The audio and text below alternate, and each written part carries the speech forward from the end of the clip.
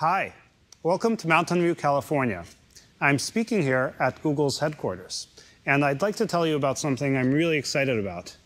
It's called Android, and it's a new open source operating system and software platform for mobile phones.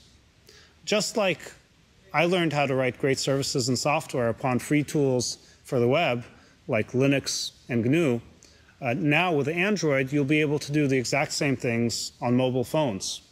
The software is all free, the source is completely available, and we expect great new powerful applications to be developed on it.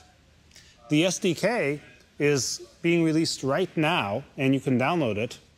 And to show you some of the highlights and some of the applications we've already developed, here's Steve. You've probably been hearing a little bit about the G phone lately. I'm here to tell you there is actually no G phone. Instead, I'd like to introduce you to the Android platform. This is a platform we hope will enable people to create thousands of G phones.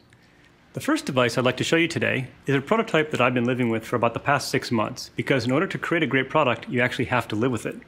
This particular device is running a full version of the Android software stack that has all the functionality you would expect in a basic phone. Here's an example of a home screen.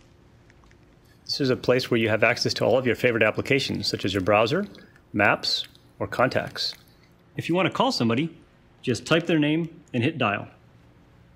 And I'm calling my friend Aaron.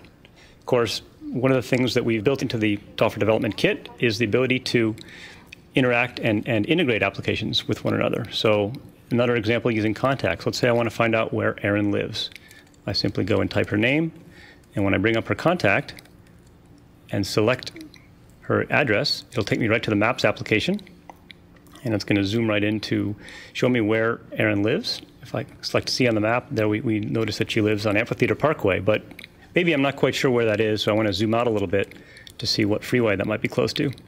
There we can see that it's near the uh, Highway 101.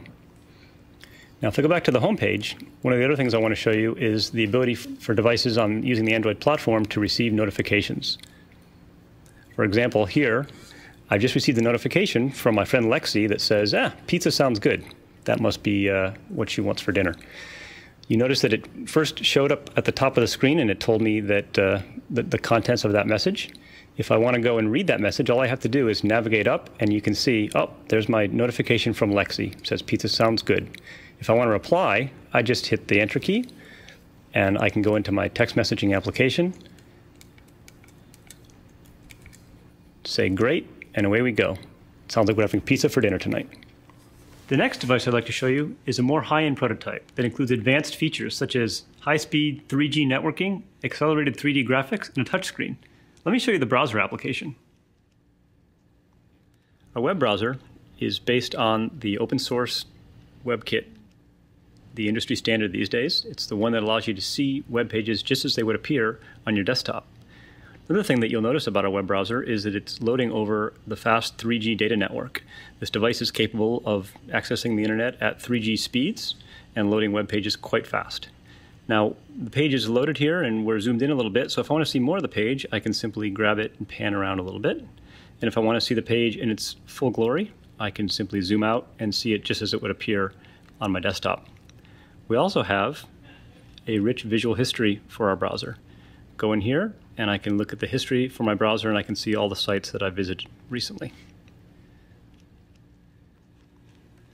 The next application I'd like to show you is Global Time.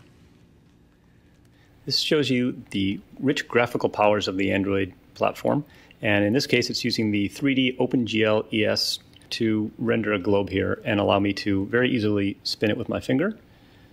I can also play with the earth while it's spinning around the Android graphics APIs allow you to very easily mix 3D and 2D graphics. Next, I'd like to show you some of the advanced 3D hardware capabilities of this prototype using Quake. Any application that is written to the Android OpenGL ES APIs will be able to take full advantage of any hardware acceleration. Now I'd like to show you the Maps application. I happen to be here at the city of San Francisco. Using the touchscreen capabilities of this device, I can pan around the city of San Francisco and watch those map tiles load for me at 3G speeds. One of the benefits of the Android platform is that we build in basic functionality like map views, so your application doesn't have to reinvent all the functionality in maps if you want to build something on top of it. here I am at the Embarcadero in Street View, starting from wherever I was on maps.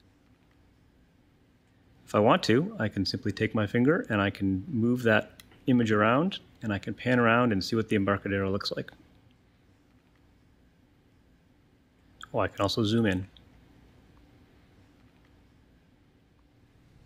That was just a preview of some of the things the Android platform can do. We can't wait to see what developers will come up with next. Welcome back. I hope you enjoyed seeing some of the applications we've built already. But the best applications are not here yet. That's because they're going to be written by you and many other developers just like you. We'd like to reward these developers and to recognize them as much as possible. So we've set aside $10 million, which we're going to give away to the people who develop the best applications using Android.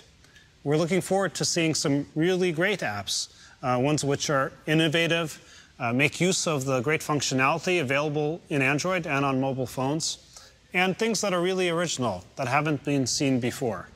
I look forward to seeing all of your work.